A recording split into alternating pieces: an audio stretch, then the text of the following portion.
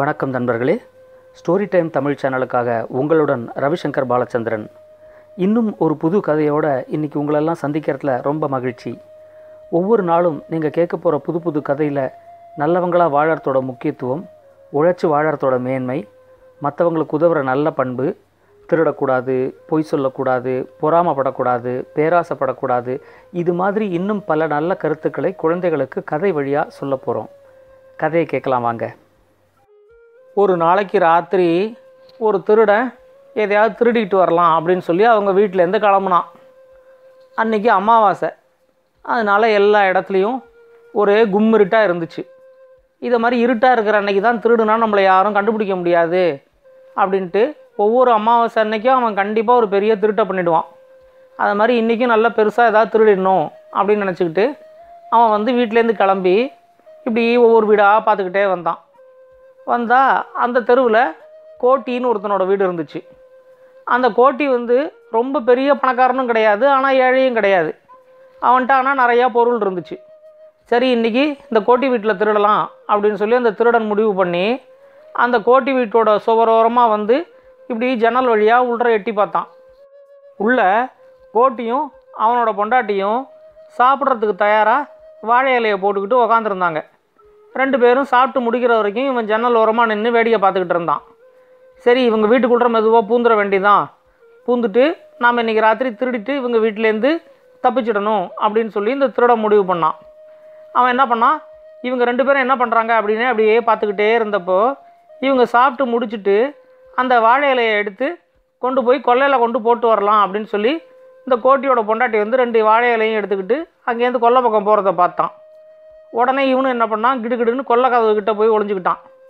அவங்க வந்து இலையை எடுத்துக்கிட்டு வெளியே போய் போட்டுட்டு வரத்துக்குள்ளே இவன் சாமர்த்தியமாக அவங்க வீட்டுக்குள்ளே பூந்துட்டான்.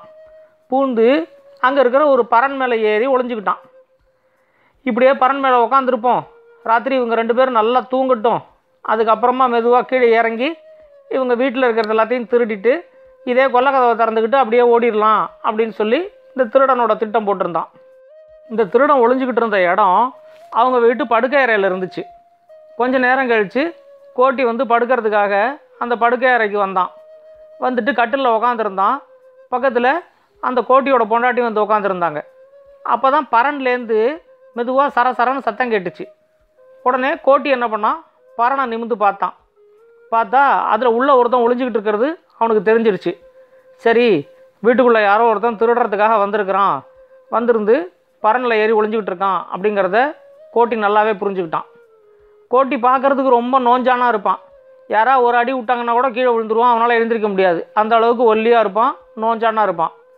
சரி திருடன் வந்து இப்போ நம்ம வீட்டுக்குள்ளே பூந்துட்டான் இப்போ ஏதாவது சத்தம் போட்டு இந்த திருடன் வந்து கீழே இறங்கி அடித்தான் அப்படின்னா தாங்க முடியாது.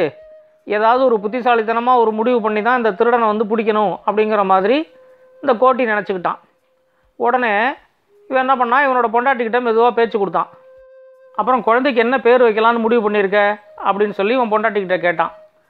உடனே இவன் பொண்டாட்டி வந்து எனக்கு கண்டிப்பாக பொண்ணு தாங்க பிறக்கும். பிறந்துச்சுன்னா கங்கான்னு பேர் வைக்கலான் இருக்கேன். அதை நல்லபடியாக வளர்த்து ஒரு நல்லவனாக பார்த்து கல்யாணத்தை பண்ணி கொடுத்து அவனை வீட்டோட மாப்பிள்ளையாக வச்சுக்கிட்டு எங்ககிட்ட இருந்த உடமை எல்லாத்தையும் என் பொண்ணுக்கே கொடுத்துருவேன் அப்படின்னு சொல்லி அவன் பொண்டாட்டி சொன்னான். உடனே இவன் சொன்னான் அதெல்லாம் இல்லை. எனக்கு கண்டிப்பாக பையன்தான் வேணும். பையன் பிறந்தா அவனுக்கு வந்து எங்கள் அப்பா பேரான காளிங்கிற பேரை தான் நான் வைக்க போகிறேன் நான் வந்து உங்கள் அப்பா பேர் மன்னார்னுலாம் வைக்க மாட்டேன் அப்படின்னு சொன்னான். அப்போ தான் இந்த கோட்டியோட பொண்டாட்டிக்கு என்னடா இது நம்ம அப்பா பேர் மன்னார்னு இவர் ஏதோ சொல்கிறாரு அப்படின்னு சொல்லிட்டு இப்படி நிமிந்து பார்த்தா. பார்த்த உடனே கோட்டி வந்து அப்படியே மெதுவாக பறனை காமிச்சான். பறன் மேலே ஒருத்தன் ஒளிஞ்சிக்கிட்டு இருக்கிறத பாரு அப்படிங்கிற மாதிரி மெதுவாக கண்ணால் காமிச்சான். உடனே அந்த கோட்டியோட பொண்டாட்டியும் பறனை நிமிந்து பார்த்தா அங்கே ஒருத்தன் ஒளிஞ்சிருக்கிறத அவளும் பார்த்துட்டா. பார்த்த உடனே சரி கோட்டி ஏதோ திட்டம் போட்டு தான் இதை மாதிரி நடந்துக்கிறாரு அப்படிங்கிற மாதிரி அவனோட பொண்டாட்டி புரிஞ்சுக்கிட்டா. புரிஞ்சுக்கிட்ட உடனே அவள் சொன்னா அதெல்லாம் இல்லை. காளிங்கிற பேரெல்லாம் நல்லாவா இருக்குது காளிங்கிற பேரெல்லாம் வைக்கக்கூடாது. மன்னாருங்கிற பேர் தான் ரொம்ப நல்லா இருக்குது நான் எங்கள் அப்பா பேர் மன்னாருங்கிறத தான் வைப்பேன். அப்படின்னு சொல்லி அவள் திரும்ப சொன்னான் சொன்ன உடனே இந்த கோட்டி வந்து அதெல்லாம் இல்லை. காளிங்கிற பேரை தான் நான் வைப்பேன். அப்படின்னு சொல்லி காளி காளின்னு அவனை கூப்பிடுவேன். அப்படின்னு சொல்லி கத்துனான் உடனே அவனோட பொண்டாட்டி வந்து அதெல்லாம் முடியாது. காளிங்கிற பேர் நல்லா இல்லை. நான் மன்னார்னு எங்கள் அப்பா பேரை வச்சு மன்னாரு மன்னாருன்னு தான் நான் கூப்பிடுவேன் அப்படின்னு சொல்லி அவ சொன்னான் ரெண்டு பேருக்கும் பெரிய சண்டையாயிடுச்சு. மேலே இருக்கிற திருடன் வந்து என்னடா இது? இந்த வீட்டில் திருடலான்னு வந்தால் இவங்க சீக்கிரம் தூங்க மாட்டாங்க போல இருக்குது இந்த நேரத்தில் ராத்திரி பதினோரு மணிக்கு உட்காந்து ரெண்டு பேரும் சண்டை போட்டுட்டு இருக்காங்க. காளி மன்னார்னு கத்திக்கிட்டு இருக்காங்க. எப்போ தூங்குவாங்கன்னு தெரியலையே அப்படின்னு நினச்சிக்கிட்டு அங்கேயே உட்காந்துருந்தான் அந்த பரன்லையே. இவங்க வீட்டுக்கு பக்கத்து வீட்டில் ரெண்டு முரடர்கள் இருந்தாங்க. ஒருத்தன் பேர் காளி ஒருத்தன் பேர் மன்னார். அவங்க ரெண்டு பேரையும் கூப்பிடுறதுக்காக தான் இந்த கோட்டியும் அவனோட பொண்டாட்டியும் இப்படி ஒரு திட்டம் போட்டிருக்காங்கங்கிறது திருடனுக்கு தெரியாது. திடீர்னு வாசக்கதவு வந்து படபடன்னு தட்டுற சத்தம் கேட்டுச்சு. கேட்ட உடனே நேராக கோட்டி போய் கதவை திறந்தான். அங்கே பார்த்தா இந்த காளியும் மன்னாரும் நின்றுட்டு இருந்தாங்க. என்னாச்சு? எதுக்கு என்ன கூப்பிட்ட? அப்படின்னு சொல்லி ரொம்ப கோவமாக கேட்டான். கேட்ட உடனே நான் எங்கப்பா உன்னை கூப்பிட்டேன்? நான் வந்து எனக்கு நாளைக்கு பிறக்க போகிற பையனுக்கு பேர் காளின்னு வைக்கணுங்கிறதுக்காக நான் காளி காளின்னு கத்துனேன் அப்படின்னு சொல்லி இந்த கோட்டி சொன்னான். உடனே கோட்டியோட பொண்டாட்டி சொன்னால் நாளைக்கு இல்லை எனக்கு பிறக்க போகிற பையனுக்கு நான் மன்னாருங்க தான் பேர் வைக்க போகிறேன் அப்படிங்கிறதுக்காக நான் மன்னார் மன்னார்னு கத்துனேன் அப்படின்னு சொல்லி அவ சொன்னான் உடனே இவங்க ரெண்டு பேருக்கும் இன்னும் கோபம் அதிகமாயிடுச்சு. ஏய் ராத்திரி பதினோரு மணிக்கு வந்து காளி மன்னார்னு சொல்லி எங்கள் பேரை சொல்லி எங்களை எழுப்பி விட்டு இப்போ நீ வந்து அடுத்த வருஷம் பிறக்க போகிற குழந்தைக்கு நீ பேரை வைக்க போகிறேன்னு சொல்லி கதையாக விடுற அப்படின்னு சொல்லி அவங்க ரெண்டு பேரும் ரொம்ப கோபமாக கேட்டாங்க. இல்லைப்பா நிஜமாவே தான் சொல்கிறேன் உனக்கு சந்தேகம் இருந்தால் அதை பரனில் ஒருத்தன் ஒளிஞ்சுக்கிட்டு இருக்கான். அவனை கூப்பிட்டு கேளு அப்படின்னு சொல்லி இந்த கோட்டி சொன்னான். மேலே ஒளிஞ்சுக்கிட்டு இருக்கிற திருடனுக்கு தூக்கி வாரி போட்டுச்சு. ஐயையோ நம்ம ஒளிஞ்சிக்கிட்டு இருக்கிறத இவன் முன்னாடியே பார்த்துட்டான். அதனால தான் ரெண்டு பேரை வர சொல்லியிருக்கான். அப்படின்னு நினச்சிக்கிட்டு என்ன பண்ணுறதுன்னு தெரியலையே அப்படின்னு சொல்லி முழிச்சான். அப்போ தான் இந்த காளியும் மன்னாரும் பரனில் ஒளிஞ்சிக்கிட்டு இருக்கிற திருடனை பார்த்தாங்க.